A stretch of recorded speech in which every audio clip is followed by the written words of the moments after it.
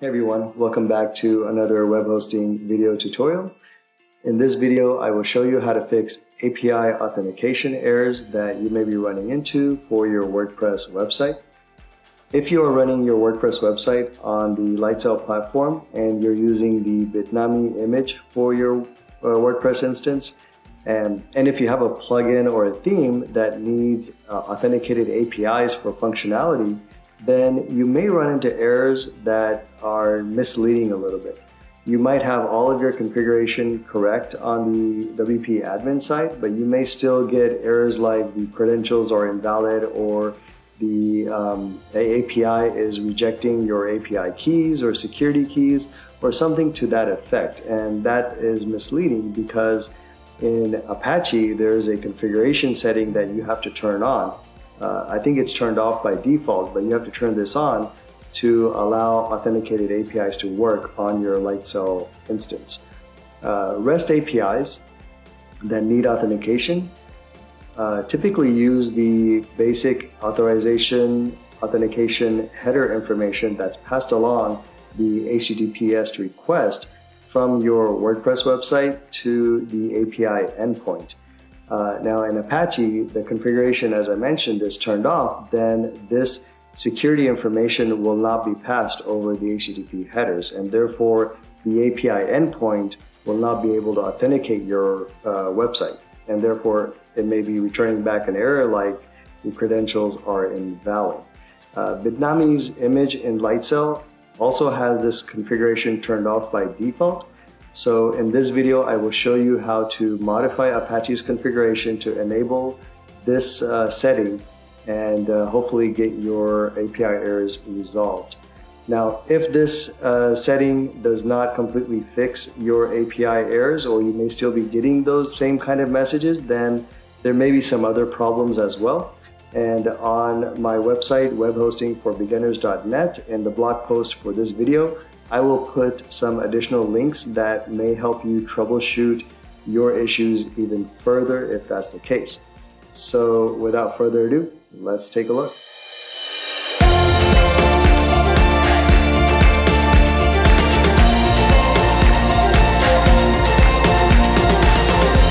Alright, so for this tutorial, I do need a WordPress instance, so let me go ahead and create that real quick. As I mentioned in the intro, this video tutorial really focuses on the Bitnami-based uh, Lightsail blueprints or images. So that's what I am going to create. Now, um, if you are not using the Bitnami-based WordPress uh, image, uh, maybe you're using a Plesk uh, instance for your WordPress website or, or WHM cPanel for your WordPress uh, website, then uh, they may already have some way to modify or turn this configuration setting on or off. So you might just have to Google or search on the internet and see if there are similar steps for turning on the authentication uh, configuration in Apache.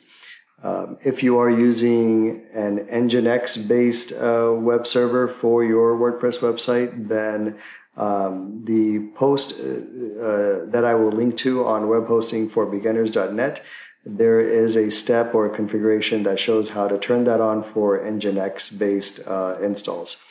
Uh, but this tutorial specifically will focus on the Bitnami based image that uses Apache configuration. All right, so my instance is ready. So what I need to do is log into the server using SSH. So in WordPress on the Lightsail or in Lightsail in the dashboard area, you can use the web-based SSH terminal or you can use a locally installed SSH client like PuTTY or the one that I use in majority of my videos is the Bitvise SSH client. So either way, what we need to do is log into the SSH terminal. All right, and here what we will do is open up the configuration file. Uh, so if you go to cd apps, then WordPress, and then conf. So here there are several configuration files. The configuration file that we want to edit is the httpd-app.conf file. So we will do that in VI. So once this file is open, we will come down to right after this line that says if version. So right after that line, we will hit the I to insert and I will copy this configuration setting. And uh, like I do with all my videos, I will cop I will have the commands and steps on my website, webhostingforbeginners.net, for the corresponding blog post for this video tutorial. So be sure to check that out, and you can just copy and paste these commands from that website. So I paste this, and the property or the configuration is called CGI Pass Auth, and we want to set that to on. I'll just hit space to indent it a little bit. And then the next thing that we will add is uh, another configuration. In here, this is if we have the mod underscore set and if module installed, then we will set this configuration as well. And then finally, the third item to modify in this file will be right here. Right on this line, rewrite rule uh, caret index.php. So this line, you'll have something like this at the end, s equals 1. Sometimes it will be an L or something to that effect. So here we will insert uh, this line of code. Here we will hit the I and I will paste configuration and I will add a comma at the end. So it should look like this um, right here, then a comma, and then what was already there before. In this case, it's s equals 1, but if there was another character like L or something like that, then just make sure you do not remove that and you just put a comma right before or right after uh, you pasted your configuration. So with that done, we will save the file and quit out of the VI editor. So to uh, um, remove or go out of the edit mode, you hit escape, and that's what I did. And then you hit colon W for write, and then Q to quit. So you hit that. Uh, I, I, know on a lot of my previous video tutorials, I walk through editing configuration files and I perform these steps really fast.